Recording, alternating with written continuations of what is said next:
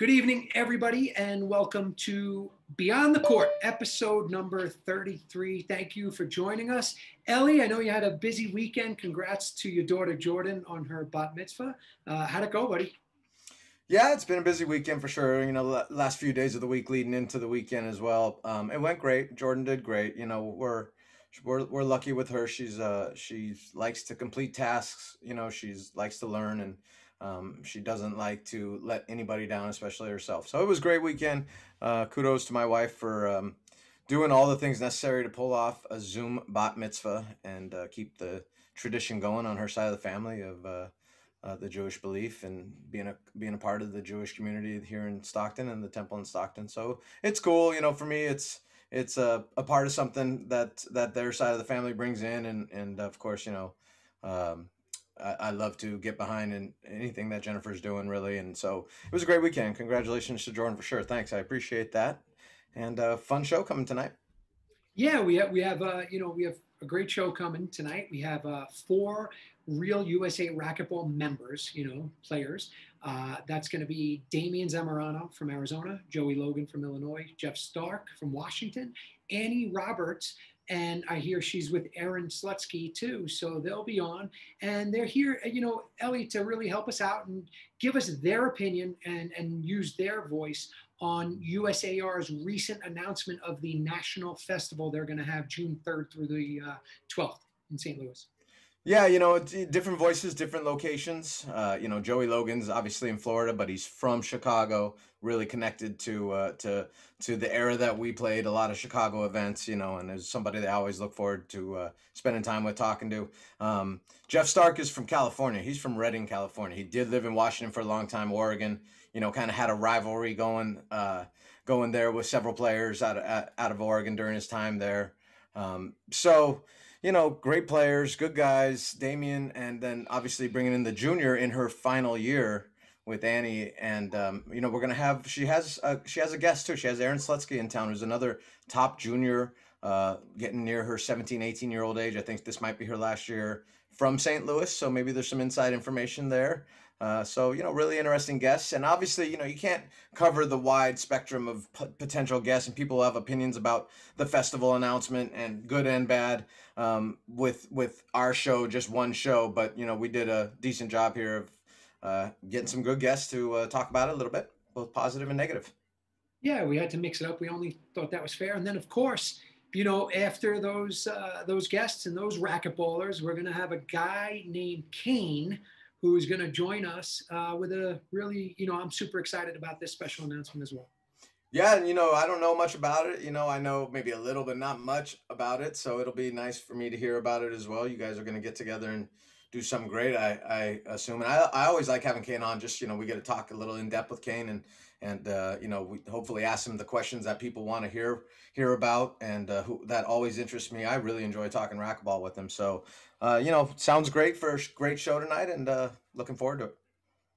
Yeah, it'll definitely be fun. So, so with that, you know, we're gonna get started. We're about to bring in Damien, but first, you know, I just want to say, Ellie, it's not always easy. You know, it's it's almost impossible to please 100% of the people 100% of the time you know whether it's sports life business relationships there's always obstacles you know and the important thing is is that we communicate and you know discuss ways to improve and and allow people to be heard whether it's your wife or my wife or friends or business or players. You know you got you, you have to listen to that voice and, and try to come up with a way to make things better. And at the end of the day that's what we all want. We always want the best for everybody. Um, you know even if we don't want to hear that opinion or that voice it's important to hear it you know and pay attention and listen up because there's there's a lot of differing opinions. And it's not just what we're going to discuss here tonight. This is just a life you know a life observation. Hopefully ellie and i and scotty mack you know we truly give the racquetball world the friends and family sponsors supporters you know a platform to be able to to share you know their thoughts and what and what um, maybe they're thinking about in the sport just like we are. Um, and and hopefully you know we can we can communicate that message for you and at the end of the day, you know, we want what is best for you, what is best for the player, the member, the racquetball fan, the junior, because what's best for you ultimately will be what's best for the sport. So, you know, with that, Ellie, we're going to go into some video questions. You know, we've been asking people, send us some of your video questions, whatever they might be. Uh, we want to answer them. I can tell you this yes, I have seen these videos. Scotty Mack is just throwing them out there. There's a bunch of them. Uh, so our answers won't be preset. We're just going to go with it. So, uh, Scotty Mack, let's play the first video from, I believe this one is Julius Ellis from Stockton, California. What do you got? What's up, guys? Julius Ellis here. All right, Suds and John Ellis. What is your guys' favorite match you've ever played? It could be on the tour, just like for fun.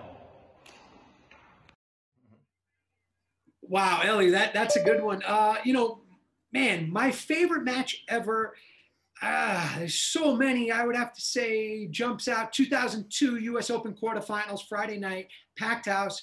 Uh, Jason Mannino and I went. We battled it out, and uh, that was that was good. But I got to be honest, Ellie. Lately, it's it's it's the last one. The most recent one is my favorite. Sure, you know, I don't I don't blame you for that, buddy. You're still playing high level and looking to mix it up some more. So, you know, this kind of question is for those that are well beyond their their their time on tour at that high level and that's not you, but that is me. So, you know, it's interesting. I, it could change, you know, I, Julius didn't ask me this or anything before he went to the club that day and they had their practice and he asked that question, but it can change by the year. But you know what? Like a favorite one of mine was our doubles match in I think 90 one maybe uh, semis with you were playing with Gelso, maybe it was '93. Uh, you were playing with Gelso in the semis, and Mueller and I, and we were young and kind of just swinging away. I'm sure there was plenty of balls left off the back wall, but we were dropping bombs at high rate. You know, like the the the, the pace we were. I was swinging right out of my body. I know that I was swinging as hard as I possibly could. The, You know, quite often in the match, and we've got we've got those photos where you're jumping on over one of my shots, and then I'm jumping over, and we look kind of the same. And what it looks like we're way off the ground, which you probably were pretty high off the ground, but there was a decline where the where the photographer sat, so it even they were even lower than the court, so it even looked more radical with the photo. But that was one of my favorite matches for sure. I'll I'll say that one for now. Well, all right, yeah, that was a good one. All right, second question. Who do we have? Hi, John. Hi, Tati. I was wondering, what is your favorite serve and why? Ooh, Alondra, that's a great question. What's my favorite serve is anyone that I score a point with. Now, I know that might not be the answer you want to hear, but I would say my favorite serve, please don't tell anyone. And if you're one of my competitors, it would be definitely the crack serve on the left side wall. Mm-hmm. Use it in singles, doubles, and uh, super confident with it. Yeah, you can hit that, man. There, you know, there's times where you would just go on long, long runs of just trying that serve and cracking out a bunch of them and really frustrating your opponents. And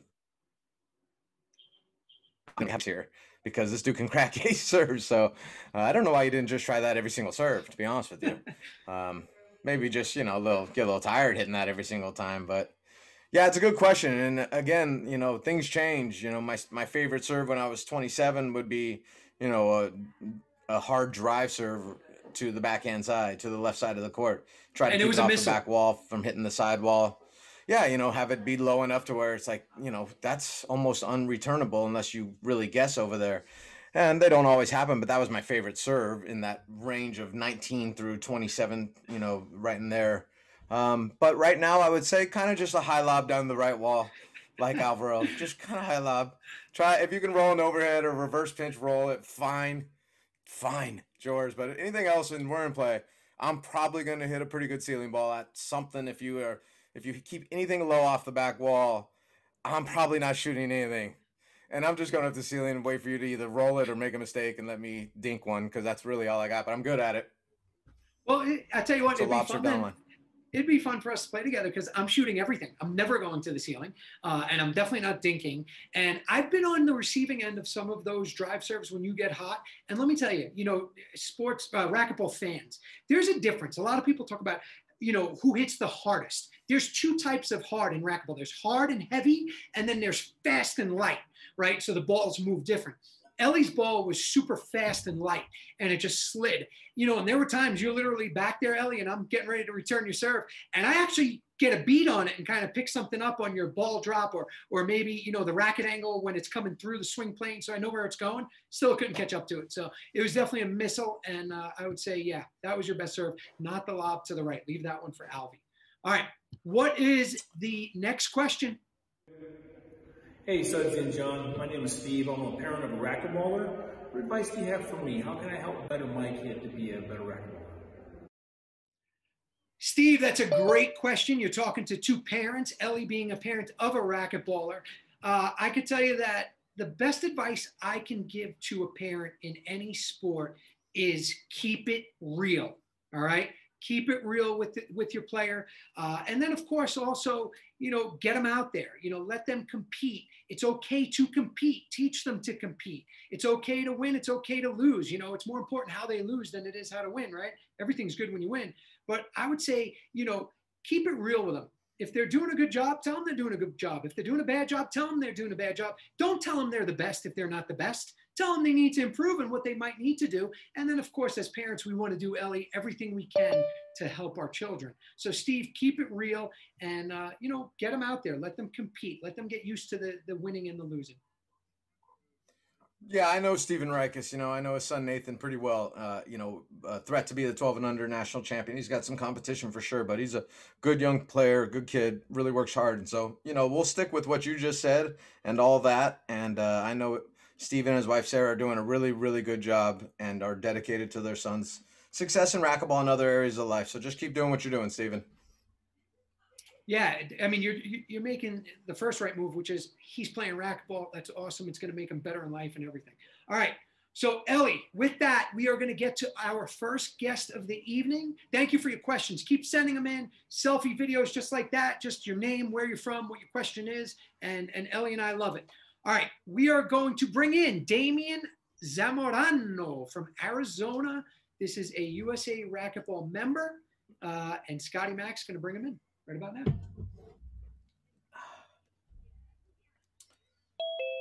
There he is, D. Zamoran. I like it. Marcus DeRosen. All right. Dame, Damien is connecting to audio. Now, usually Scotty Mack, we have all this stuff set up, but this is a little different, different approach tonight. Damien, can you hear us all right? I can. Hope everyone's doing well. Doing well. Great, great to have you. I like you repping, repping the ASU shirt right Yeah. there, the Sun Devils. Yeah. A lot of great athletes have come out of there. Um, you know, I know you're busy tonight. I know you have uh, a family gathering, and I promised we weren't going to keep you very long, so we're going to get right to it. All right. Cool. Appreciate it. Thank you. Damien, you're a fixture in racquetball, indoor and outdoor, USA racquetball. Uh, I've seen you at many pro stops, outdoor racquetball. You're very close with the De La Rosas. Um, so let's get to it. What is your reaction and what are your thoughts on USAR's recent announcement about the National Festival June 3rd through the 12th in St. Louis? Oh, sure. Thank you. It's a great idea.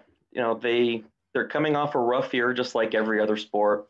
All of us are anxious to play racquetball, and they're trying something new. It's a whole new event, whole new venue. They've never tried it before, so I applaud them for for thinking outside the box, trying something different, and and being creative. You know, Damien, you've traveled to plenty of events. You know, you've came to Stockton and played one of our events. I I, I know that I recall that and appreciate that. And so, um, for someone like you, what are your plans in terms of the the uh, singles and doubles? Or how you know, if it let's say both are take about a five to seven day span, there are you there for the whole time and looking forward to playing both? I, I would like to. You know, there's a lot of other tournaments that take up a lot of time. World Seniors, the U.S. Open, they're all week long or so tournaments. So that's kind of kind of normal. Um, I know we're still waiting to find out how they're going to split up national singles, national doubles, and juniors. But it was nice that they gave us a save the date so we can start to plan ahead. What are your thoughts on the split, though? I mean, what what would you like to see as uh, you know somebody who's going to travel to a lot of national events here? Hmm, that's a great question. I would probably like to see singles the first week or the first four or five days. I think it's June 3rd through whatever that Sunday is.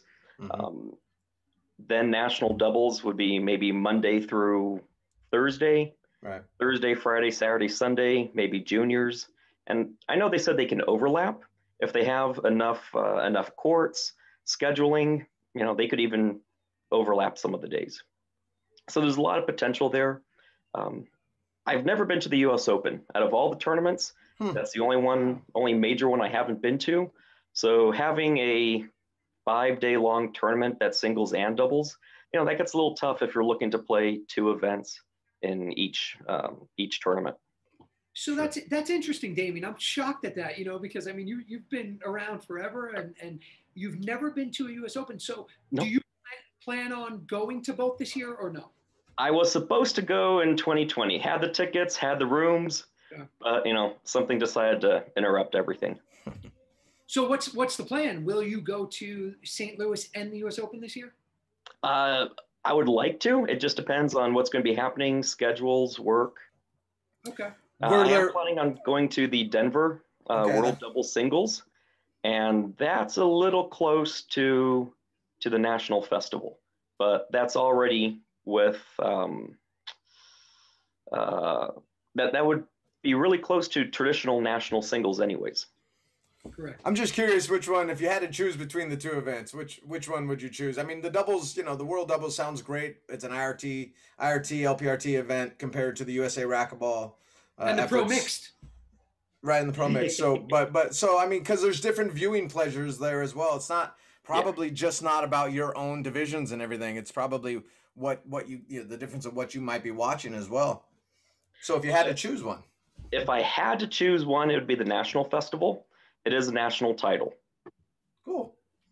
Very Uh, good, Damien. That that's that's awesome. That's perfect. It's a great great lead off. And we are now going to let you go because I know there's some party you got going on over there. Uh, maybe- I, I wish it was that much fun. Hey, Hey, you, did- before you go, are you playing some racquetball these days? Are you indoor? Are you getting to play indoor? yes, uh, we're fortunate. One of our friends has a uh, court in their house. Oh, I know Sudsy was uh, was lucky enough to play out here, uh, play the court in the late '90s when we had um, one of the World Championships at City Square. But um, one of our other local clubs just starting uh, just started to allow singles, so we've been playing there a little bit. Well, that's great. Yeah. Glad that's the case for you guys. You guys get get get ready for that Denver event and the other events coming up. So that's great. Yep. Da- Damien, before we kick you out, I'm going to ask this for Ellie. Nobody else on the show cares, but he does. Are you playing a lot of pickleball? Ah, Yeah.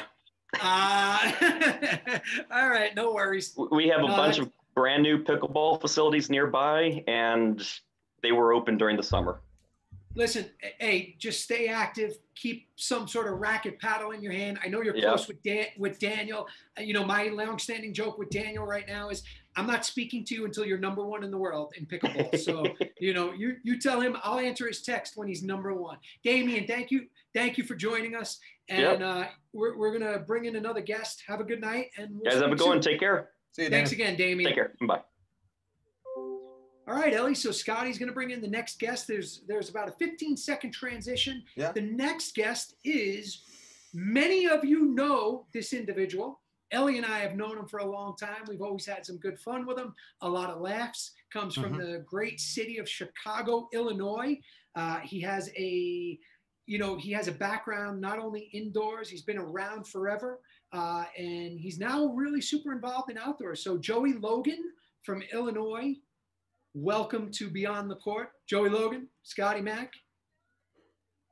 You know, Joey's living in Florida now, has been for a while now. So uh, we'll find out exactly where he's at in Florida. Quite different, you know, Illinois and, and Florida. So uh, uh, I know he's is. always true to home, to the Illinois home, but, you know, is definitely representing Florida pretty heavily these days. No way, Logs. Joey, welcome to the show, buddy. It's nice to see you again and always. But but let me let, let's get it right out right now.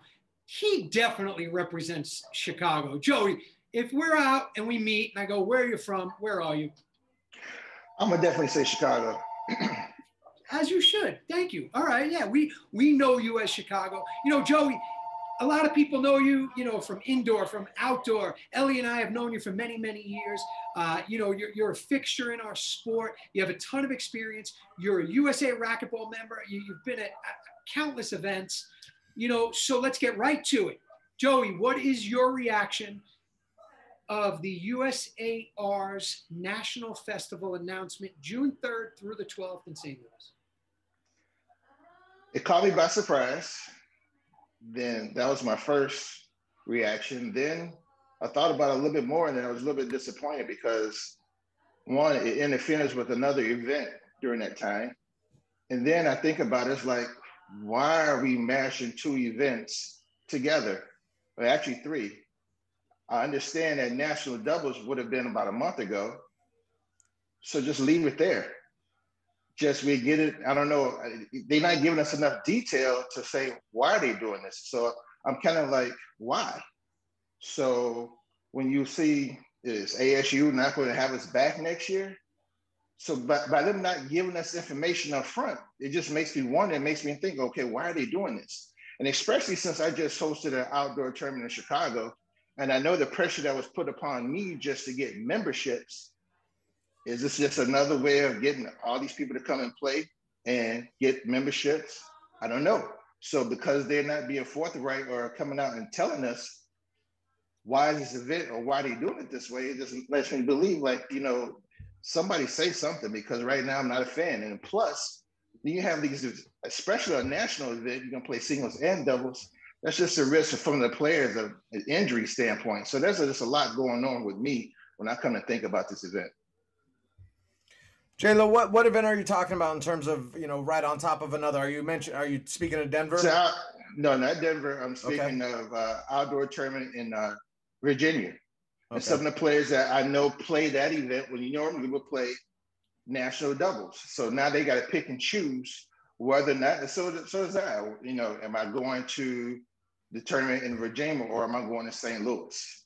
So they should know these events, especially since they've taken over WOR, they should know what what events are happening. And it's just like, well, we're just gonna pick this date. And I don't know, it just seemed like the planning is a little yeah, suspect, if you ask I'm, me. I'm curious about that because you know, for some people, the lineup of kind of events is going to matter more than other than it will for other families or other people that are playing the event. But what would be ideal for you to to make you you know to make you want to do both the singles and doubles uh, while you realize that the juniors are involved as well?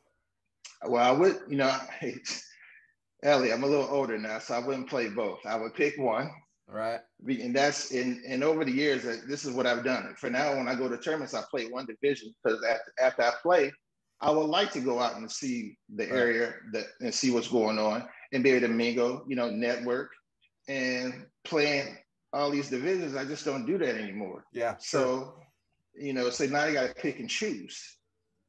And hopefully, I, if they come out and let us know the reason why they're doing it, I probably have a better understanding. I can make a better judgment. Right now, they just leave it to me to be a conspiracy conspiracy theorist, and I don't want to be that way. Joey, I think they should be Joey, a little bit forthright. But okay, so yeah, like like elaborate on that a little bit. What do you mean? Like, what would make you happy, right? Like I started the show, I said that hundred percent of the time, and, and I know you own your own business too. You can't make hundred percent of the people happy. Can't. And, and and but what what could they say to you as a USAR member, a, a huge fixture? You have you host events, you know, indoor, outdoor. You've been around for God over thirty years. I would I, I think. You know. What could years. they what could they say that makes Joey Logan happy? You know, whether it's the format, whether it's, you know, what is that? Not so much even the format. Even if they were to come and say, hey, you know, we don't know if we're going to be playing at ASU next year. So this is the reason why we're going to host this event together. We don't know if this venue or that venue is going to be be prepared for us due to due to the pandemic. Understandably, we used to always know, hey, Houston was always Memorial Day weekend that week. We knew that up front until they started moving it around to where, you know, because we all know the why was turned down. Then you have the US Open. We kind of know when that is. We know when when national doubles is, and that's around Valentine's Day. Now all of a sudden you got three months, you're gonna throw two events on the players, probably that hasn't been planned and expect for us to play. I mean, there's just a lot of things that come in that's involved here. And I, and look at as a player, and as even as a tournament director, the injury aspect of it as well. So, you know, let us know. Hey, if there's no, if we're not to have any venue, uh, a venue for national doubles, and this is the best that we can do, okay, then I'll understand it a little bit more.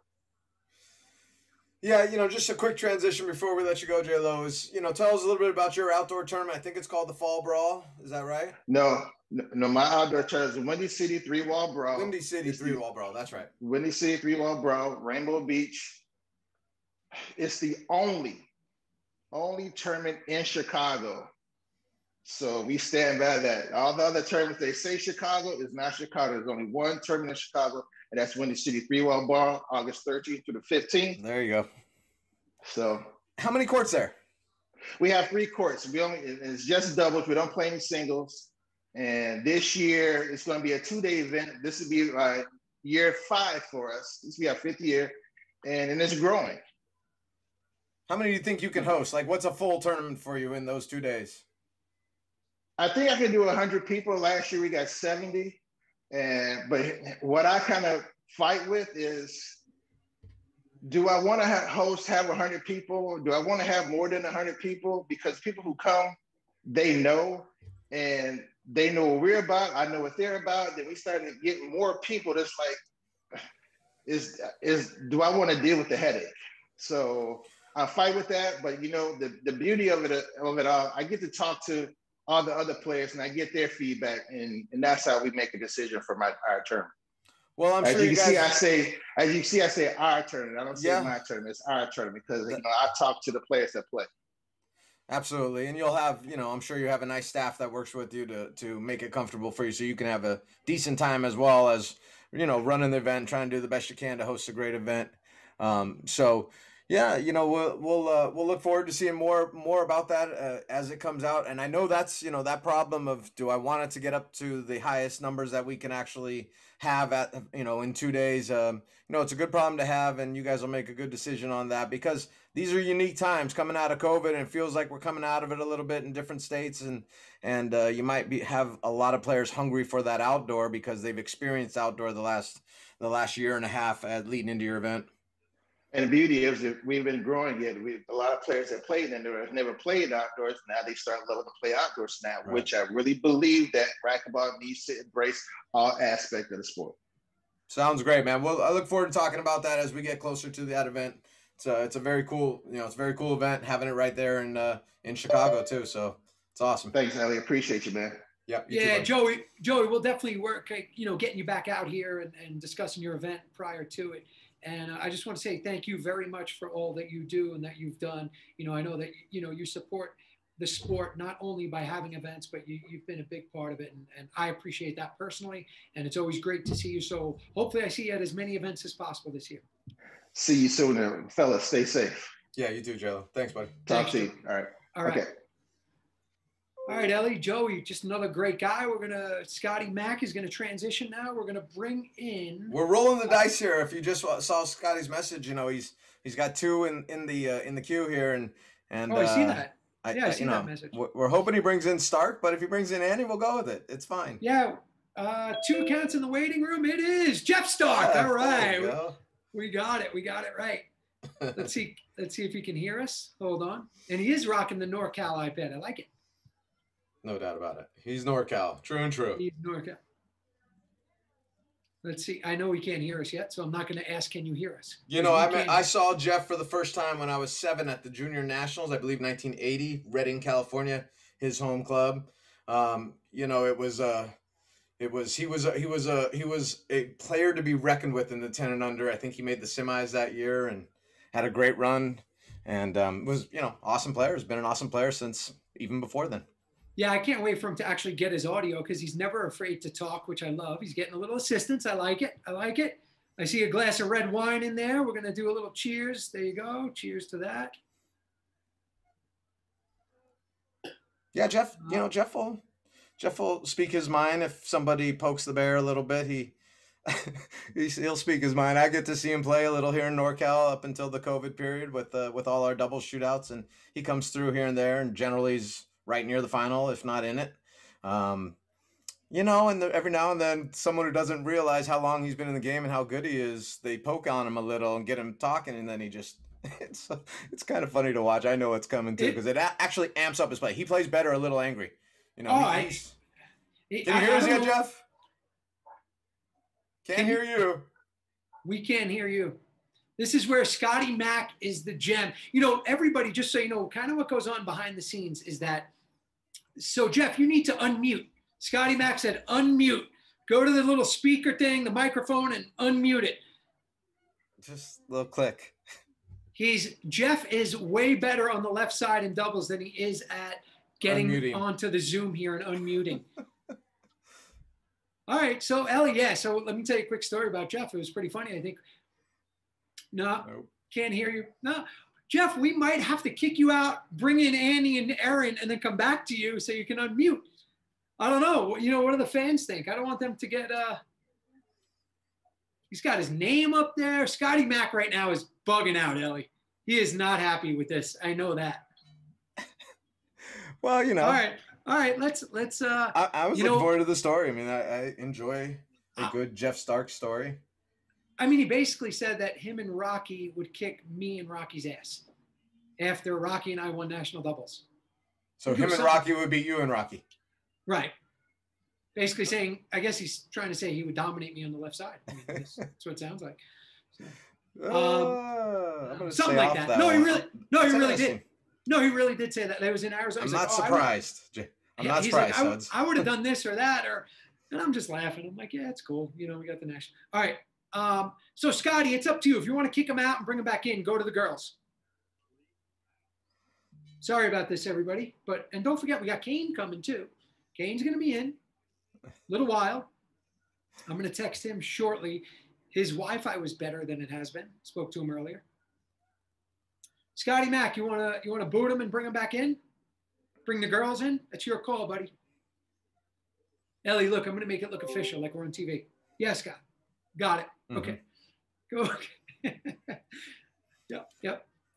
I like the USA Pan American jacket behind you. That was amazing. Remember getting all those clothes? Yeah, I'm not sure which one that was. You know, I think that was a Here we are. 1994 situation there, uh, World Championships. But uh, let's talk to the ladies here. Annie, can you hear us? Erin? Yes, we're good now. There yeah, there's go. n- there's no doubt they were not going to mess this up. Technology, you know, like the, the junior girl. You girls still have juniors eligibility left? Yeah, we were just talking about that. Uh, this year is going to be our last year. So, Okay. All right, so so we have Annie Roberts in the blue, and we have Erin Slutsky in the black. And you know, it's great to have you here. Thank you so much. You know, you're the future of USA racquetball. Uh, Ellie told me you're in Stockton, Annie, and obviously now Erin. Lucky you too, because what a great place to be at to train and play ball. You know, like if I was going to leave the country, I'd either come here to Ecuador with me or go to Mexico. But if I was in the country, I'd go up in to Stockton with Ellie and, and the crew. So thanks for being here. And we're going to get right to this, all right, Yeah. for both of you. So recently, the USAR made their announcement about the National Festival, which is go- going to include national singles, national doubles, and junior nationals. So, Annie, we're going to start with you. What's your reaction to that?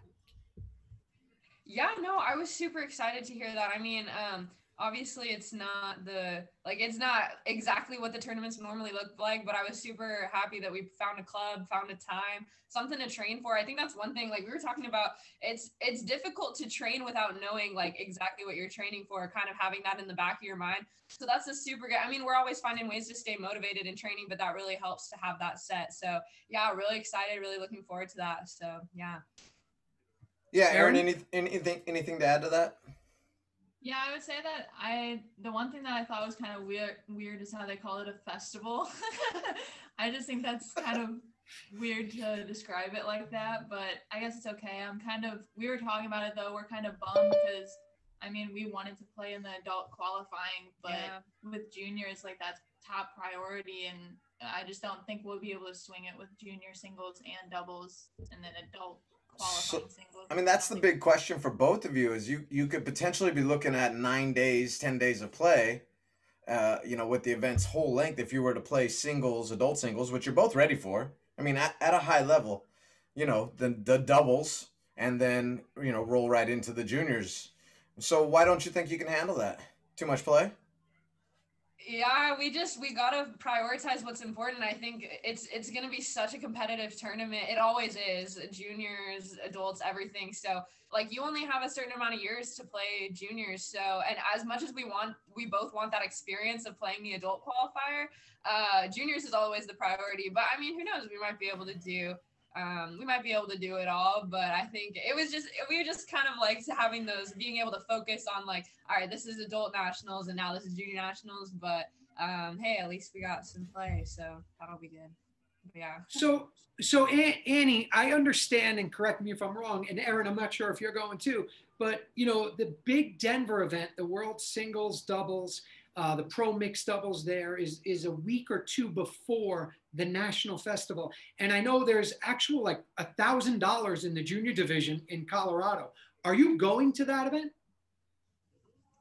Oh yeah. Yup. yeah, we are. I didn't nice. know that they had the prize money in the juniors, but no, I, I was actually super excited to hear about that timing because I think two weeks is like a great time to like get into a tournament, you know, get mentally prepared for getting back into tournaments. And then so yeah, I really like the timing of that. So we're going. you're both in you're both in school, so how does that factor in in terms of timing for both of those events?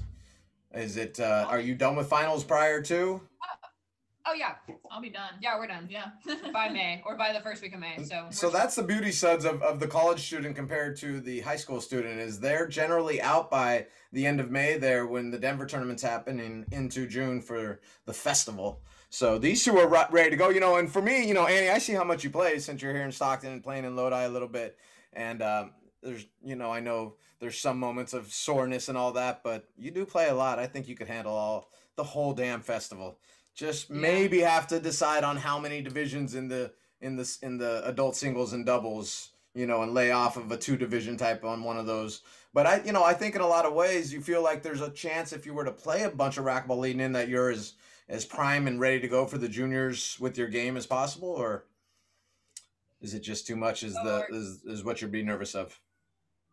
Yeah, I would just be nervous of um just like yeah, I think two division, like I feel like three divisions, like because I'd be playing, I have it like I'd be playing singles and doubles for um for juniors, and I feel like just like I'd want to kind of focus on that one because the junior competition is no joke too, especially like every division, not just 18 under, 16 under, like with the stakes that are high at that tournament, like you you can't count anyone out. Like it doesn't matter if you've been on the team before, if you've never been on the team. Like I mean, like Erin, this girl, this girl, she came out of nowhere one tournament. I didn't know who she was. I had she and she ended up being in the finals, and she had never played before. So it's like juniors is uh, something that I'd really want to focus on, and it, it can be pretty intense too. But yeah, I mean, so it'd be a different we, story. Juniors was before adults. Then I'd play yeah, adults. Yeah, that would be interesting. So that's so yeah, so so I want to touch on that, er, Aaron, Aaron and Annie. This is for both of you. So you know, because I hate hearing that. You know, Ellie and I both played a long junior career. We played many junior nationals. You know, we both transi- transitioned into the U.S. team. And but like when you get to that 16, 17, 18, where you girls are, you know, like you're the next, you know, Rhonda Rajsich, or you're the next, you know, uh, Michelle Gould from the U.S. So because the event's so tight, you're not going to try to qualify for Team USA and Junior Team USA? I yeah, I just don't know yet. We've never been in this situation before, so it's like it's it's kind of so hard to tell. I would just really hate to see uh, like us over committing and then not being able to do well in either. You know what I mean? But I've just never, I've personally never been in that situation. So i am definitely going to have to consult like coaches and just and other people to see their opinions. Nothing set in stone yet, but that was just kind of the first thing that popped up to us was like, oh my gosh, like like how are we going to do it all in one week but um but even if we even if we do do all three if we do just just juniors like um i'm looking forward to it so. aaron what about what about you what what are your thoughts on that on playing both well i think the other thing is i don't know if you know but the lprt stop right after in kansas city the team yep. route um, stop. I want to go to that for sure. I mean, it's got the that's the other thing I think about Holly Scott and she's got that she's got the national tournament and then she's got to go to this lprt stop and it's the grand slam like that's where the most money is. So the timing of that just isn't great. And uh, i think you know three straight weeks of racquetball would be pretty hard. Um, I'm talking to my coach Robbie about it, and he thinks like as of right now, I just stick with juniors, but you know things could hmm. change and timing could change, whatever. Okay. You know what's interesting for for all of us here talking is just that the concept of the different divisions on different days within the festival. I mean, you know, there are a decent amount of players who are in their first year of college in the 18s, mm-hmm. and you girls just said it. God, it'd be great if the 18s was first and then I could play the adults after and kind of get after it and not really care. you know exactly how the results went because the juniors are what I what you want to you know finish this junior career off, get on the national team if possible, and have a trip to go on this this this year, um, which is, is we're all hopeful for that coming out of COVID, but you know that's so you know that's kind of the big thing for me on all this is the not having any plan towards what days which events are happening or which divisions for that matter are happening. Call it the whole damn thing. I don't care if it's one's national singles, one's national doubles, one's junior nationals. Just give us the divisions on which day so we can start planning and and make that happen. And it's an interesting idea. Maybe it's something would you girls look to get in touch with USA Racquetball and kind of try to fight for that concept of 18s possibly being at the beginning of it all? Yeah, I feel like it'd make more sense because it's not like the adults can play in the juniors, so it wouldn't be they wouldn't be playing in uh, two divisions. Yeah, I didn't think about that. You know, the problem though is that a lot of the juniors School. are in, in high school and still have grade school and high school. So it's an I- 18s thing for me, not really a 16s and below. It would just be kind of highlighting the 18s divisions. And even then, you're going to have some young 18 year olds that are still juniors and seniors in high school and not able to quite get there for that June 3rd through 5th, let's call it June 3rd through just even if it's a two day two day division, which it maybe it could be with the numbers that that the 18s girls are going to draw. I mean, there's it's going to be fun competition, that's for sure. I'm looking forward to, to oh, seeing that whether it's live or whether I'm watching it on on stream, but the competition's good. I don't know how many players will actually compete in that division. So you don't know how long it's going to be, but you know, it's something for you guys to and other 18-year-old freshman college players to jump on USA Racquetball and maybe speak your opinion about. Aaron, Aaron, where are you from? You're from St. Louis? Yeah, I'm from St. Louis. Inside and- info, Suds. Here we go. And and Annie, you're from Oregon. Yeah, originally from Oregon. Yeah. Okay, so question for both of you. I know you probably still have friends in high school. Is school out by June? I don't know. What would juniors start? Maybe the eighth or ninth at the latest. Is is high school out in your cities or where you're from? me. Um, Yeah, Oregon's yeah, it's out for her. Oregon's a little different. We get out. Um, I know seniors get out like the first week, uh, but then you have all the graduation stuff. I don't know what that's gonna look like this year, but that's gonna be a thing. And then uh, everyone else, all the other uh, level players would be out um, a week or two. We're usually out in the middle of June, so that might be a little bit of a problem. well, all right, all right. It Go is ahead, online. School is So, online, so I mean, I'm still in school right now. I'm gonna train, do my classes in the morning, train after. I mean, Okay. it's not undoable. yeah. If people want to go, I think they're gonna go. So Well, listen, Ellie and I, we want you to play in every possible division, but yes, we want you to be able to, you know, maximize your potential and abilities. Listen to your coach's advice. Listen to yourself. You know, like if I'm going to give you any advice as a player, I'm going to say listen to yourself. And then the only thing I'll say as a coach, don't go to the ceiling and, you know, just attack, attack, attack. All right. So, girls, Erin, Annie, thank you so much for being on Beyond the Court. Have a great, you know, whatever training you're doing there with Ellie, and uh, best of luck. Hope to see you there. thank Yeah, you, thank thank, you. you. guys. Thanks so Yeah, have fun. Have a good stay, Aaron. See you later. Yeah. So it's that right there is uh that's my apartment on my parents' house. If I ever were to need that. that's Well, uh, that's are you, where are I, you, are you are you gonna get kicked out? I see Mike Locker and and and we're we're going to Jeff Stark, so we gotta wait. Uh, Scotty Mack, you got Jeff Stark. Only let him in if he could speak and we could hear him. Oh, we got him. Oh, we got him, Starkey. Can you hear me? We can hear you. This Yes. is beautiful. Oh, that's awesome. All right, Jeff. Sorry about that, guys. I am No. the least technological guy. I, I'm just not good on this stuff. Doesn't matter. Don't worry about that because All right. we know how Sorry, badass I you are on like- the left side.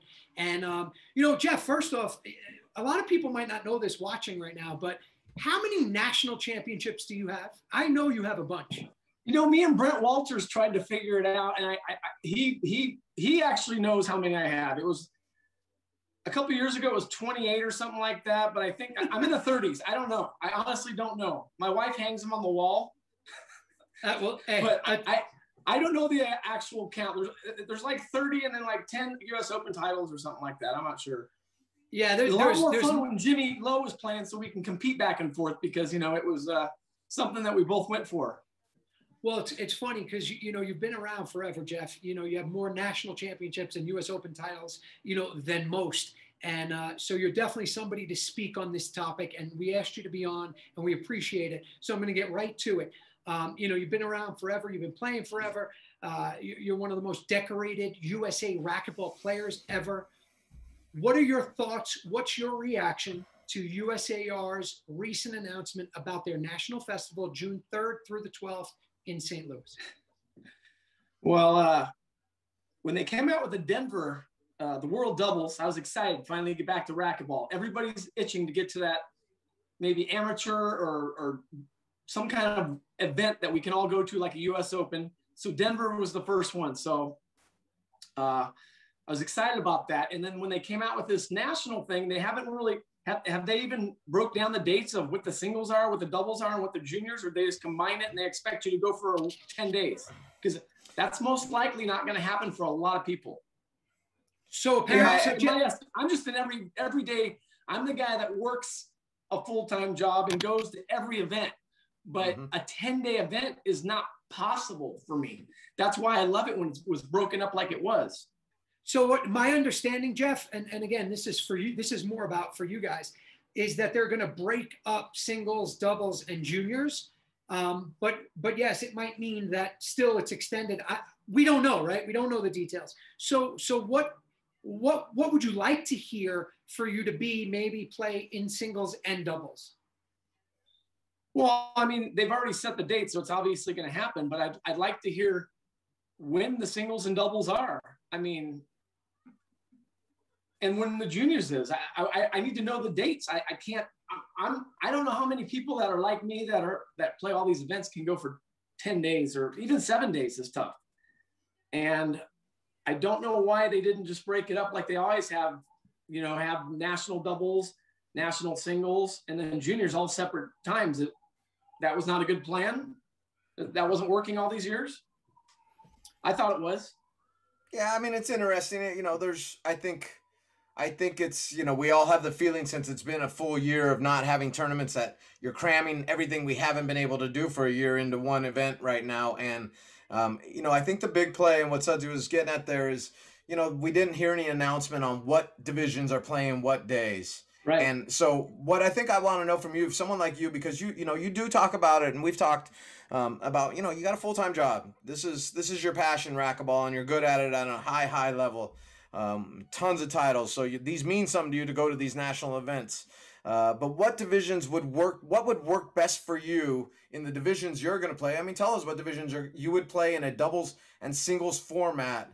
You know, in a national event, and how many days can you handle that financially and time wise, just time wise in general? Well, with the with the format being what it is, um, let me tell you, just from before when when they had national doubles, uh, I'd play the max that they'd let me play. I'd play the two age groups, the 45s, the 50s, or the 40s and 45s. Uh, me and Keith Meyer would just play the, you know, we'd wait till the end just to see what the biggest or toughest draw is, and then we play those two. And then I'd like to play, you know, uh, like the qualifier, you know, yeah. my third one. And the same thing with singles. I've always played the qualifier. I play my age groups. I play last year 40, 45s, and then I play the qualifier. I can't. Is it so that would be six division? That would be six divisions for you. Yeah, and I, and I would do that. I would love to do that. Okay, so how many days? how many days 10, do you need to play that, and how many days can you not stay? Like for me, it's interesting because they they haven't mentioned, they haven't said anything, they haven't announced anything. So wow, I mean, do they have the balls the, to kind of like separate divisions by age and have doubles and singles? If you're playing 45 plus, can you have doubles and singles happening within a three day span so that just, you get it just, all in at once? Just to be fair, Jeff, before you answer that, the, the one announcement that they came out with after the dates and the festival was that they are going to split it up. And I see they've been, USA Racquetball's been pretty adamant about their response is you don't have to be there the whole time. But that doesn't take away what, what we're getting at here. So go ahead, right. Jeff. I'm sorry. Right. Well, that that that was the thing about it broken up to when they have national doubles in February. I could play those three events you know, and I could play uh, the two the two, the two divisions, the 45s and 50s, and then the qualifier or the Centurion or something, and not worry about it. They can play me as much as they want because they know I'm playing three events. And it was only, you know, when they have national doubles, they say, oh, you know, Tuesday to Sunday. That's really not how it is. It's usually a Thursday, Friday, Saturday, and sometimes finals are on Sunday, sometimes they're on uh, Saturday. Most likely, most of my finals were on Saturday. And the same with singles. So that get me in the qualifier, like in national singles. I know I'm not going to go too far in the qualifier. You just never know who I'm going to meet up with, but at least it gets me in there, and I can play my age groups too. I'm not sure how that venue is going to work on a one long tournament, you know, or if they even think there's people out there like me that can play the age groups and still play the qualifier, you know. If they let me play 10 divisions, I would. I mean, I just would. I would, you know, but they they limit you. So, so how many how many days do you have? How many days travel do you have in you for an event like this? Like, what's what's what can you not do? Um. Well, I mean, I could play, you know, a day of travel there and a day back. That's two days of travel. That's with any any big tournament or any anything that you're going to. You know, me and you were in Pretty California, much. so um, two days of travel, and then I don't know. I'm always at nationals, and people are like, "Wow, I'm playing three divisions," but I honestly, I play all day. It's just like one of your tournaments that have, you know, you play 11 matches. I mean, I like that, but I also haven't been in a format where it's 10 days before like they're doing it. It's it's brand new. So it's yeah. hard to say, yeah. you know, what, what's going to happen. If they, if they have to break those days down, they have to say, hey, singles are going to be Monday through Wednesday and doubles are going to be, you know, Wednesday through Saturday. It's going to make it easier then. And uh, most likely I won't play any qualifier events. Not, I'm, you know, I'm not too concerned about that anyway, but I will play as many age groups as they'll let me play on those, on those days. Um, it's just going to be different. You know, I've been what 47 years in racquetball now, 1979 junior nationals. Yeah. So I've been going these for a long time. And uh, it's, I've never, I, I, know we've had a weird year last year. I just don't know. They just came up with, hey, let's do this whole thing in a week. Yeah. I mean, are you playing Colorado, Jeff? Are you going to? Yeah. And that, awesome. I'm going, I'm going to Colorado and uh, I'm, I'm, I'm not even sure what I'm going to do there. I'm going to play probably a couple doubles with Minor. Right. I'm gonna play as much as they'll let me play. I mean, I'm going right. to these things to play. You know, so I, I know. Well, Hiser's on Hiser's online watching. Heis, let Jeff play like five or six events. So I'm what? Looking... who who are you yeah. playing pro? I know you're trying to play some pro doubles. I, I talk you up all the time on the left side. So who are you trying to get with on, in the doubles? Any any prospects? Well, I'm going to play with Minor in the age group, and then uh, I, I, haven't thought about pro doubles yet. I don't know. Maybe you know, I I can so always. There isn't. There isn't. There isn't pro doubles. It's open oh, doubles, oh, Jeff. Right. Well, and then it. the main the main pro doubles is the mixed pro doubles. That's right. Okay, so there's no right. there's no regular pro doubles then. No, it's open doubles. And Hi, Jim Hiser's online. So Heis, please comment in the box. Right. Correct me if I'm wrong. It's it's it's pro singles, pro women's pro singles, men's pro singles, women's pro singles, and mixed pro doubles. And then there's going to be a men's open doubles.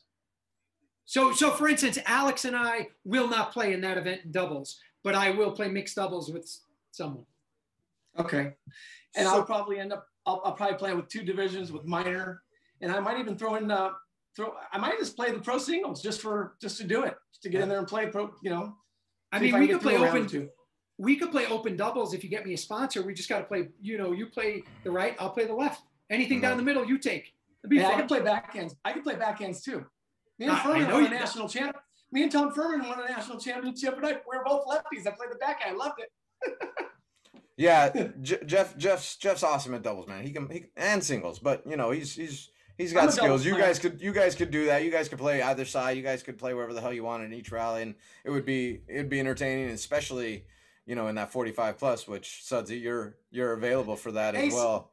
hey Sudsy, what I wanted to ask you and John is how come I'm the only guy from our time that are playing age groups? You know, it's like me and Jimmy and Keith Minor's there and Doug Ganim's there, but how come we can't have like a 40, 45 with an Ellie and a Sudsy and a Stark and a Swain and all these guys? Who would not come out to see that 40 division if, if everybody showed up? That would be the might, biggest division at nationals if you guys all played 40s. It, it, it might happen. Yeah. You never know.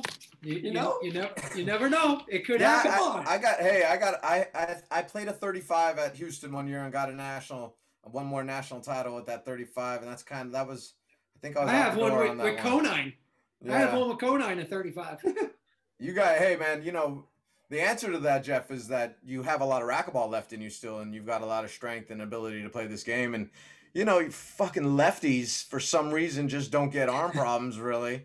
and you can swing all day. And so, uh, you know, that's why you're able to play all these divisions, and and um, that's great. You know, and keep it keep it rocking. And one of the questions I had when I saw your post on Facebook for you uh, right off the bat is, you know, what do you value more this year? The Denver stop because it is pro racquetball. There is some value to watching some awesome racquetball along with your fun matches that, that you'll have, or or this now this festival. Um, I've never been to the, you know, the world, this world doubles is what it started out as. And uh, I've never had, a, obviously, you, you're a champion, you're the world champion, right? It's world doubles. So I've never, I've never had a title like that. And I'd like to, uh, I've been looking forward to it for a couple years. I missed last year. And so that's the only event I haven't gone to. I go to the US Open and both nationals every year. So I, I think I'm looking forward to Denver. And I, and I like the four day thing, you know, this whole week thing scares me, and I'm not saying it's not going to work out. I, I, yeah. I'm hoping it will. I love racquetball first. I want this thing to. I want to get there and say, "Oh my gosh, look at all these people," and I want it to succeed. I'm not saying that it won't, but I'm also uh, I've been around for a long time, and I know that a week long and cramming everything, it's going to scare people away, and that's what we don't want to do. I, I, I don't want to just you know. I want to be more informative about, hey, you don't have to go for a week and I didn't even know that until you guys told me that. And I, you know, I, I know I'm not on Facebook every day, but um, they have to be more informative. But I'm really looking forward to Denver. That's the first thing that I'm going to have to where it's going to measure me. And you know, um, I took some time this this uh, whole last year and and a little little healthier. So I'm looking forward to get on the court um, to to compete, and that's what I, I'm starving for. You know, probably yeah. like, like everybody else. Suds, let me just say before we before you get your, your thought out there, you know, hopefully if there's a there's a good pro out there that needs a partner for for Denver, I think uh well, that's not happening again. I'm going into this Denver event feeling like it's a yeah. like there's a men's pro shop. I'm trying to sell Jeff again on that on that idea because I, you know I I've you know I've been in Diaz's ear a little bit about Jeff, about playing, you know, playing with Jeff and the creativity that could come from that. And obviously Diaz and Jake love playing with each other, so I'm not taking away from that concept no. at all. But you yeah. know, there's been some unique pairings that I've said, hey, you know, you might want to you might want to get with Jeff and see if you guys can mesh together because uh, even though you're damn near 50 or you are at 50, you know, you can still play. you can still play with some of these young guys and show them what's up with anything. that lefty. Yeah, it doesn't as much, doesn't. You're you're showing that too with your game right now as well. So, uh, you know, you know, being able to do certain things on the court that some of the youngsters haven't seen because of the transition from little rackets to the size that they are now. And Jeff went through that you know that transition as a kid into into into uh, through his teens into a great adult player. So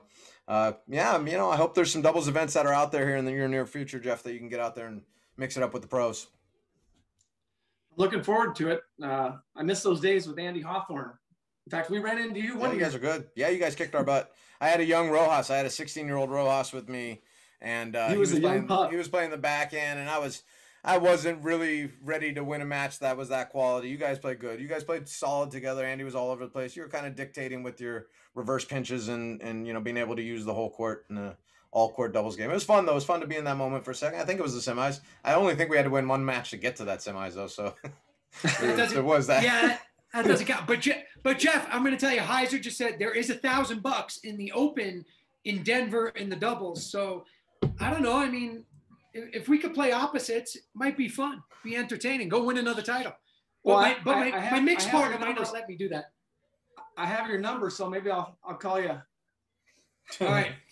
All right, we're gonna we're going to let you go now, Jeff. We really really All appreciate right. you being here. Really, it's always fun. We, you know, you're a guest that Ellie and I talk about. Like, we want you to have your own show, you know, and just talk old school and go. So we might set that up again. And the next time we bring in, I know your mute button will be operating properly. So, yes, uh, yes, it will. We figured it out. We'll, we'll stay in touch, Jeff. Really, I appreciate it. I appreciate All right, guys, Take care. Time. See you, buddy. See you we'll soon, buddy. All right. All right. So Scotty Mack sent a text and he said that we are going to commercial and we'll be right back with Kane Waselenchuk.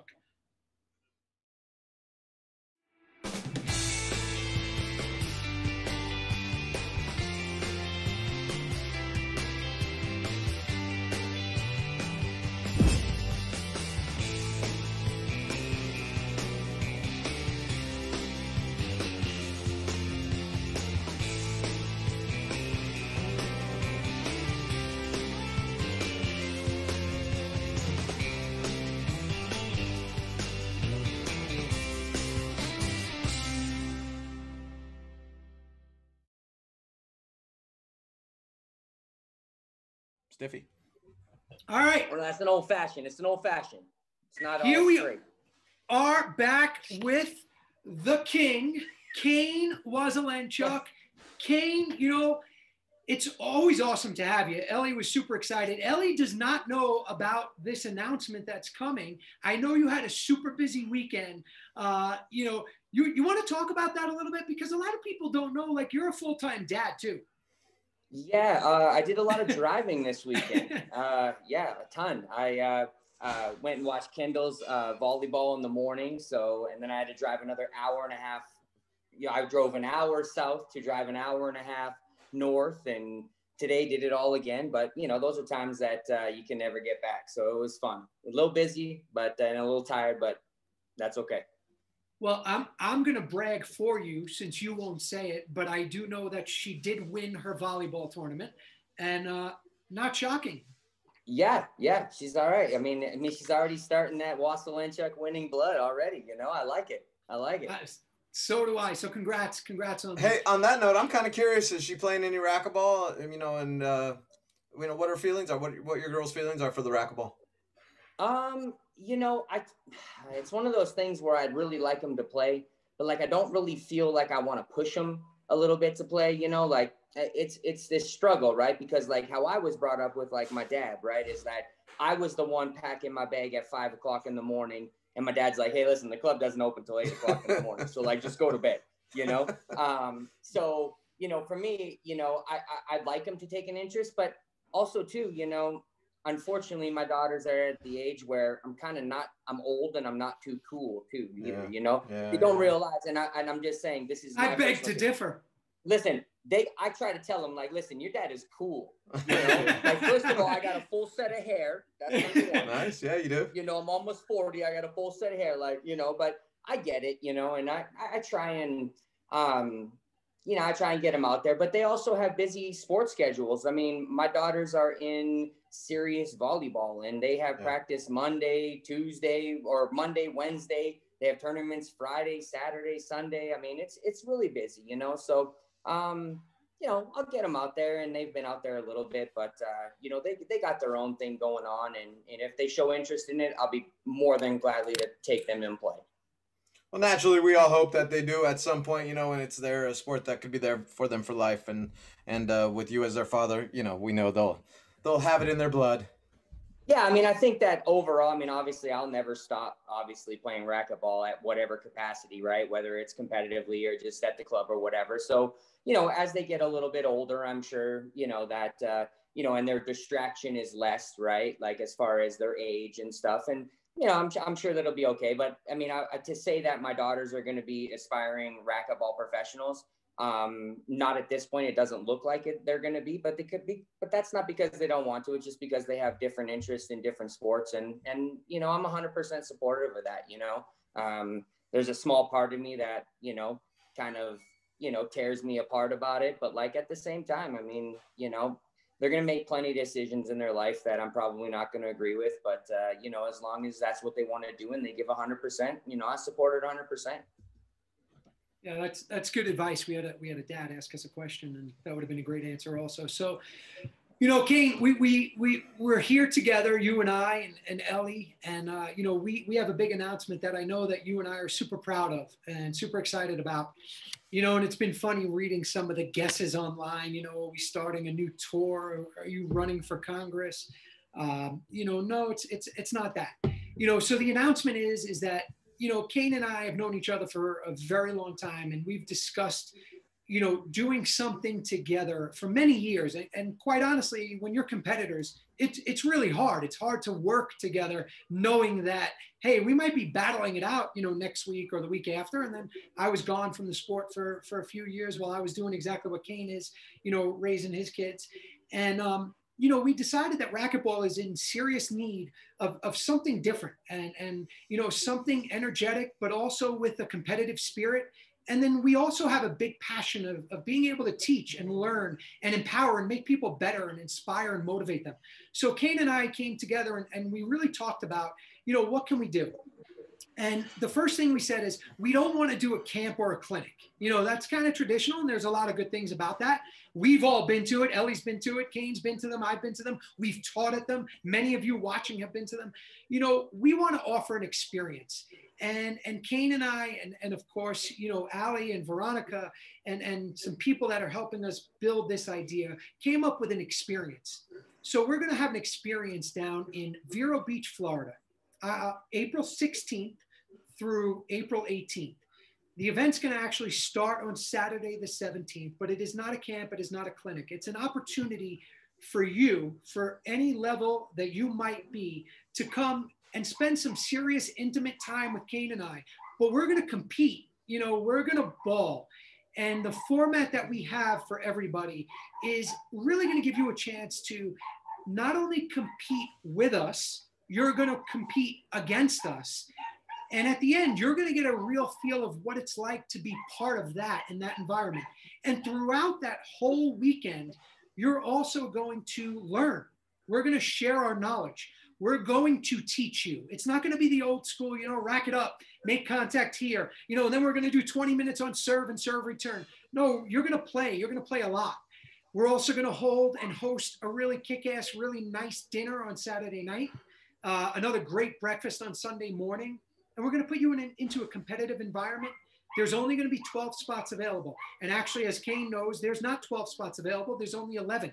And we decided that 12 was, was the max we could do because that's the way we're going to be able to give you our attention. So, Kane, you know, talk about what we're doing, why we're doing it, and, uh, you know, just your thoughts. Yeah, I mean, surprise, surprise, you're long winded, you know, and you just went on for a little bit, but that's okay. I mean, uh, there's not really more that I can really say because um, that's kind of, you know, I mean, honestly, it's it, it, it's about the experience, right?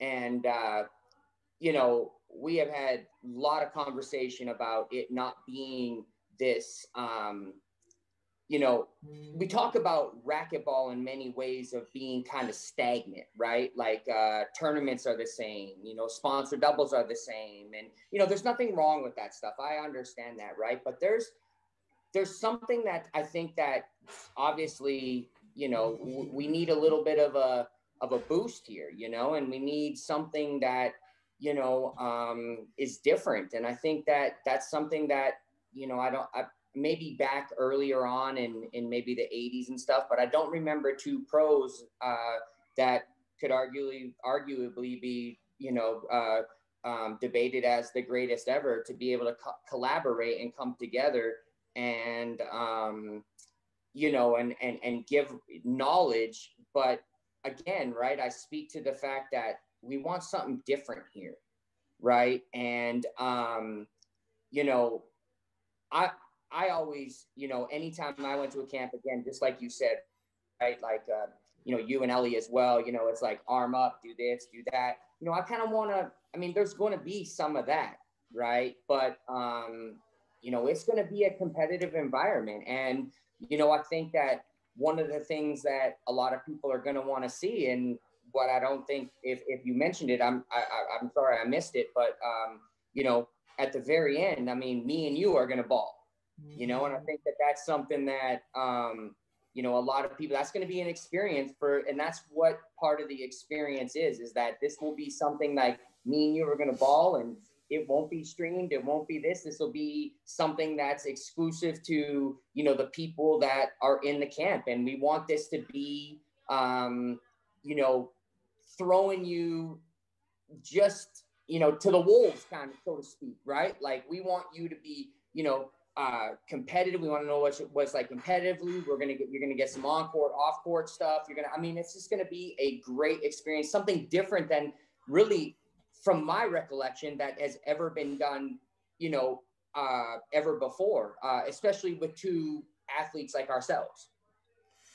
Yeah, you know, I'm, sure we, we would have to go into the history books to look at, you know, if, if a Hogan and Brum ever got together and, and put some put some stuff on back in the 70s and early 80s. You know, maybe there was some stuff there that for the time is similar to now although you know now we've progressed to this to this era and obviously you two are in that conversation as two of the greatest. You're right in there. You're right in the top three four of that. Obviously kane you know yours yours is kind of breaking all records so it's obviously right there you know um, and so suds you know with you two together that's that's tremendous i think you know having some experience with this type of concept i think one of the questions that people will ask is how much court time can they expect in this environment, you know, it's a several day event here. You know, what type of court time are they going to put in? Because they're going to physically have to be able to handle a lot of play. Because we hear we hear you that it's you know it's not hey you know we're going to do boring ash drills and we're going to talk about your mechanics early on and it gets monotonous. Although important for some players whose mechanics are jacked, where you can handle that conversation and play. They might not be able to work on it right away, but they can hear the information. You can talk about it over those couple of days. But how much court time are these players going to be be experiencing? Yeah, so so Ellie, that's a great question, and you know that was something Kane and I really wanted to discuss. But you know, really, we wanted to nail it. You know, we want to hit this and make it right for you, for the player, for whoever's coming to to to this experience, to this opportunity. So Ellie, you know, on Friday night we're gonna have like a little meet and greet. We're gonna meet at the club and we're going to meet the 12 individuals that that you know eat up these spots and a part of this and they're going to play and smack it around but saturday and sunday they're just going to play. They're going to be on the court playing and competing. We're setting up you know they'll be we're not going to give too many details right now but you know think of like ufc ultimate fighter. Um, there's going to be a team kane there's going to be a team sudsy. They're going to go at it.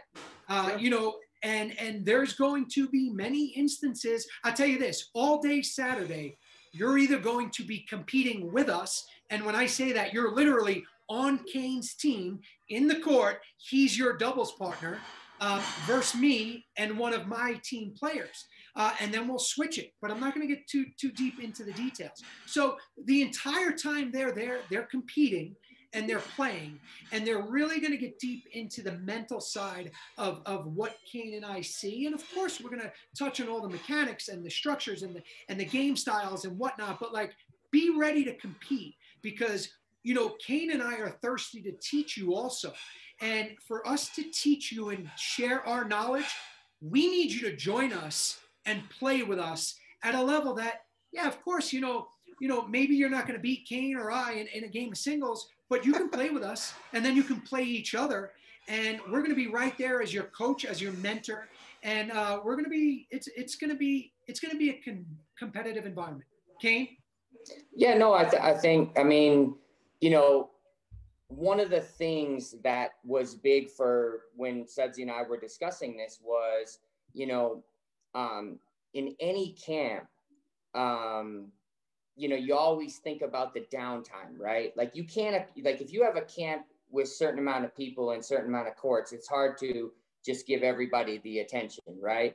But here's an opportunity for us also to give some on court, but also give this kind of team camaraderie, this this mm-hmm. team, right? So there's going to be uh, a little kind of a little insight and suds. I hope you're okay with this, but like one of the one of the insights is going to be, you know, part of the I should say, part of the the, the camp is going to be playing on the court with Suds and I, but also Suds and I also outside the court talking to the team, right? Encouraging the team, right? So it's Team Kane, Team Sudsy, right? And we're trying to, and and so when there's somebody playing, I'm going to be talking to the team like, hey, listen, you know, you know, so and so and whatever, and giving them insight on what I'm thinking. Plus, you know, we really want that we really want this experience to feel like you're a part of everything this isn't you coming just to um, a, a, a, a camp which is not what we want to call it at all this is an experience this is this is a situation that you know we want people to understand that you're going to be in a competitive environment you're going to learn it's going to be hard and we Sudsy and I are going to be on the court a majority of the time. And then we're going to allow to those those athletes compete against each other as well too with us and give some on court, off court, you know, kind of direction and and and not have this situation where people don't feel a part of it.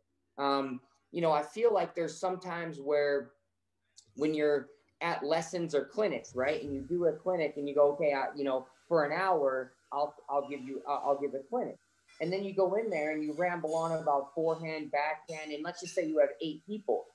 Out of those eight people, not everybody wants to hear about the forehand, backhand. You know, some people just want to hear the serve. Some people are just in there to talk to you. It doesn't. It's not even about getting better. You know, and and and just the experience of being on the court with you. So this is one of those you know things where I feel like we can encompass all of it, you know, and make this a truly remarkable remarkable experience with two of the greatest players ever. Which I again. You know, I'm sure that it's been done. I'm, I'm pretty confident that it's it's probably been done back in the 70s, 80s, or whatever. But it's been a long time, and I think that this is kind of a uh, um, I can't see any downside to it. I think it's a, I, I think it's a, it's a boost for where our sport is. And, you know, the thing that has, you know, the misconception is like we have this individual sport, right? Like, you know, I've competed against you, Ellie. I've obviously competed against you, Sudsy. I've competed, competed against Cliff, Rocky.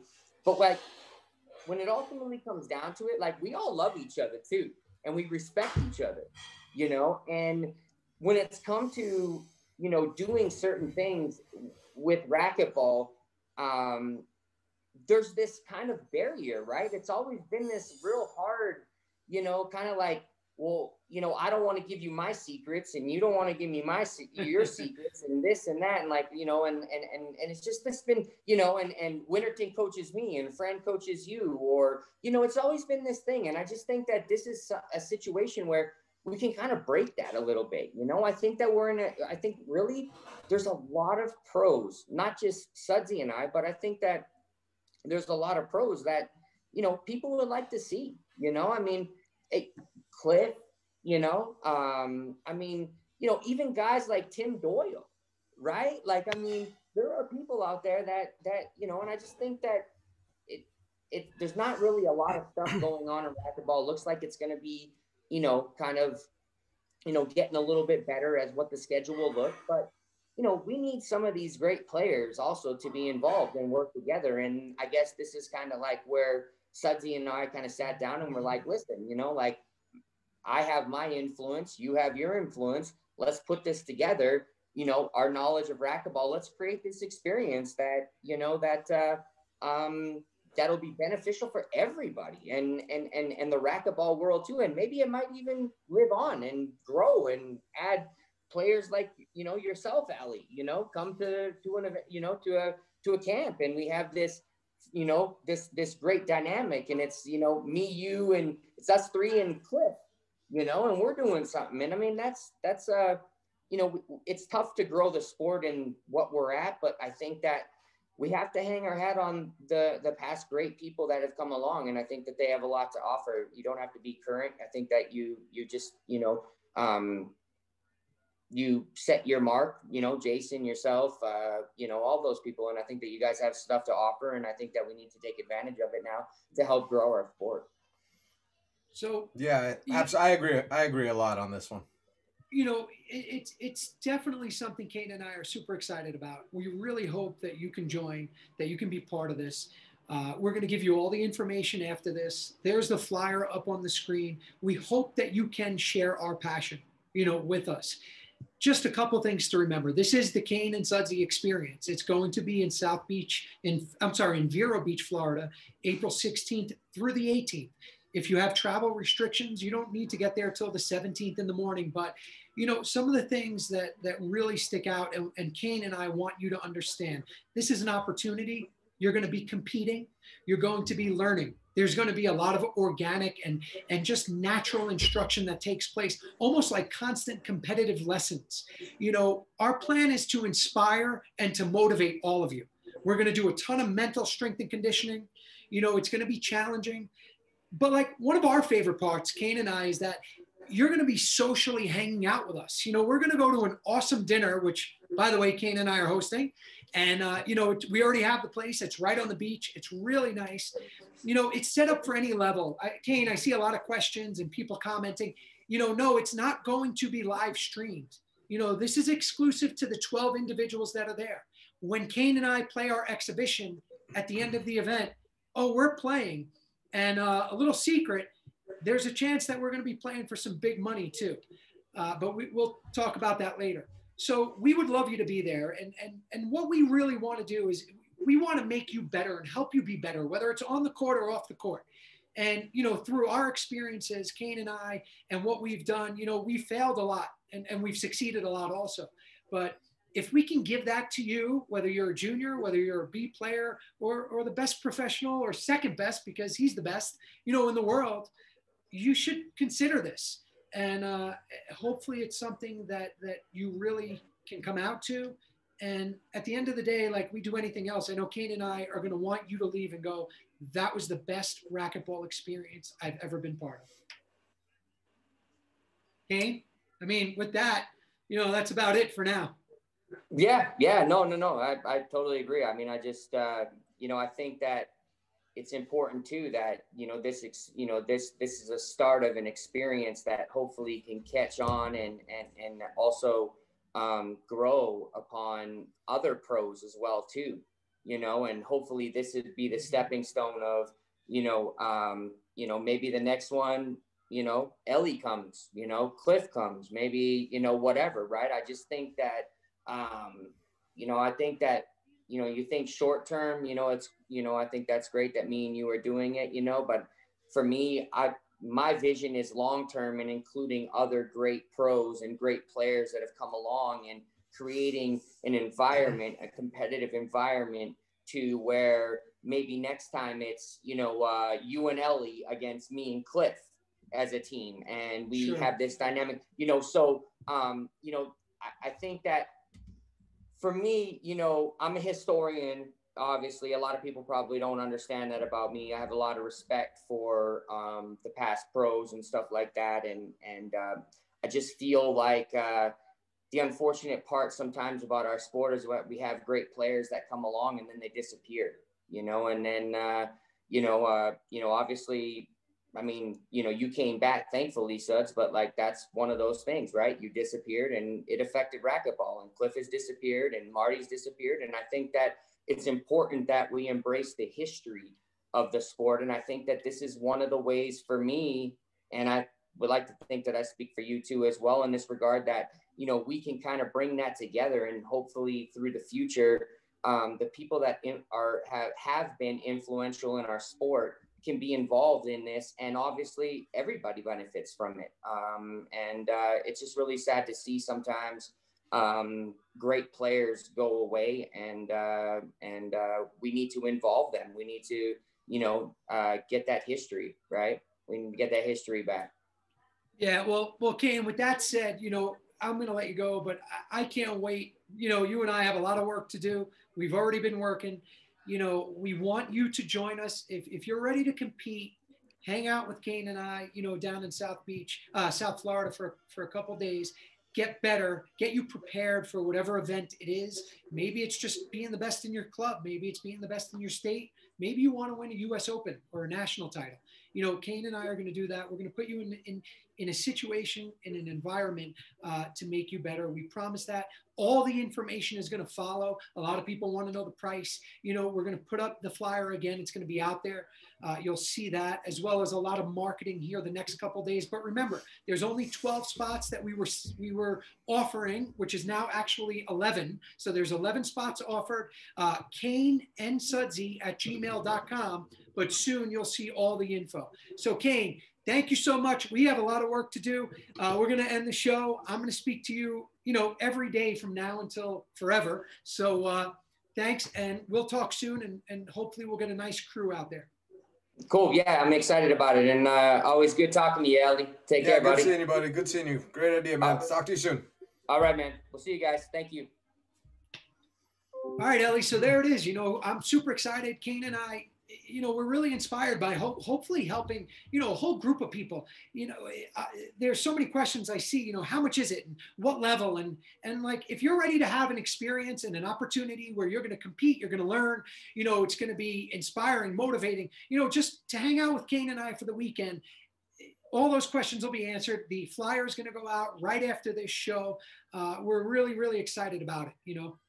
Yeah, it's a great idea. You know, and it's you know, I talk about pickleball a little bit, but this is happening in the pickleball world quite a bit. And this is a lot of the pros actually make the majority of their earnings and their living in pickleball from these camps. And and honestly, this is something that could translate to to you know two to three day weekday camps as well. You could be doing these quite often. You know, with the number of players not being too high.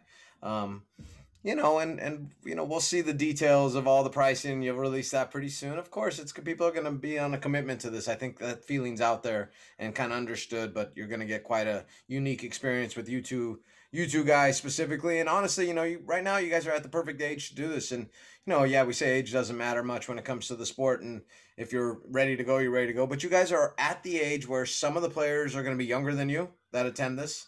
Some of them are going to be older than you and you have a good understanding of what it takes now at 46 for yourself to hey to play at 46 at this level there's reasons why you're able to do that and there's reasons why others aren't. And kane's not too far behind you. I mean right at whatever he is 39 i think 39 40 he's right there you know. It's in his later stages. So this isn't something he would have did at 21 22 23 he wasn't ready for it mentally. He was still in his getting his building his mojo and what became. So, you know, it's something you guys could do for a long time and others as well. Caden made mention of it. I think that's, you know, to a certain extent, we did something similar to this at a different level when I have all these guys here in Stockton for a while there and we were doing, we were calling them camps, we weren't calling them experiences, but there was a lot more playing than your normal camp. It wasn't like going to a junior team camp or a junior, you know, training camp when we were young and doing a lot of mechanics and drills that aren't too exciting and aren't too dynamic. You know, we were more trying to be more dynamic, and I'm sure you guys will take that and then uh, you know make it make it really exclusive with this 12 players coming to attend. That's a small number for two guys like yourselves, so I think they'll uh, they'll get a lot of attention. Yeah, we're down to 11. And Ellie, one of the things that's super, super cool and super exciting, you know, we're going to play an exhibition, Kane and I. And so many people have always said they want to see that and see that. And we're going to ball. And, and, you know we've talked about that and it's it's not going to be live streamed. It's going to be exclusive you know to those who are there. Um, we'll we'll go ahead. Yeah you know that's all great. You know since we're talking ball and stream and everything let's give kudos to the kelly brothers for they threw a tournament. They threw yeah. out a tournament that was streaming on several different seems like several different streams were going at the same time which means they had proper wi-fi set up in in in the court you know at the court situation. So they got it done Joe won his own tournament. Some good players there. Tremendous. And so you know that's a congratulations to Joe for that, and I'm sure they're going to do a bunch more of those and invite different players in, and people are going to come in and experience that that uh, the Kelly Court, and so kudos to them for that. Yeah, that was that was awesome. That was great. Joe Kelly, Sam Kelly, you know, thank you for that. You know, with that, Ellie, we're going to wrap it up. Uh, we'll get out that information about the Kane and Sudsy experience down in Vero Beach, Florida, April 16th, 17th, and 18th. And, uh, you know, you'll be able to email us with any questions, any concerns, but we really hope to see you there. You know, and Ellie, this is, this is one of those, man, where we should see like low level pros and high open players that really want that knowledge. I'll never forget, you know, Cliff saying once in an interview on ESPN, he said the biggest mistake I ever made was talking to Sudsy, you know, and answering his questions and telling him these types of things. And and like this is where I would love to see those type of players. But I know the egos are there. I get it. You know, we've been there, but uh, it, it would be nice to see that. And it's it's men, women, juniors, whoever. You know, I did see something about juniors. We are going to uh, hopefully do one for strictly for juniors as well at some point.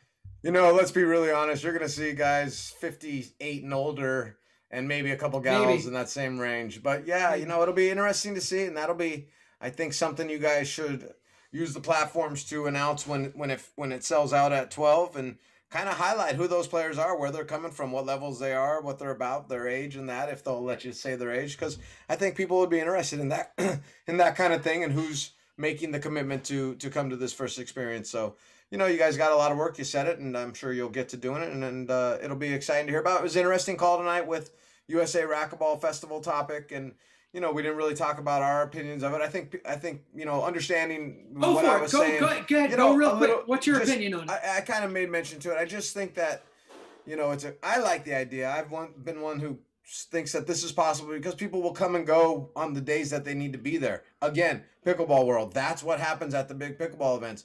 People will fly in and fly out before the event's over because their divisions are done.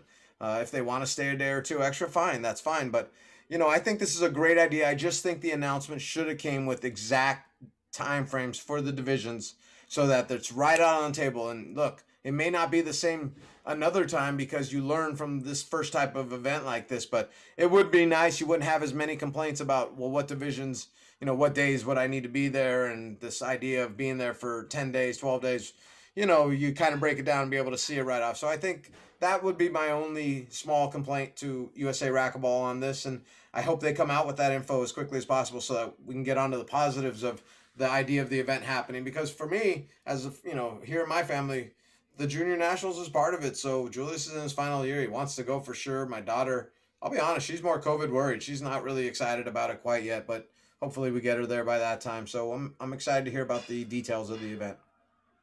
Yeah, I think, you know, uh, good idea by USA Racquetball. I think the concept was pretty good. I think the execution was not. I think, uh, you, you know, you messed up there.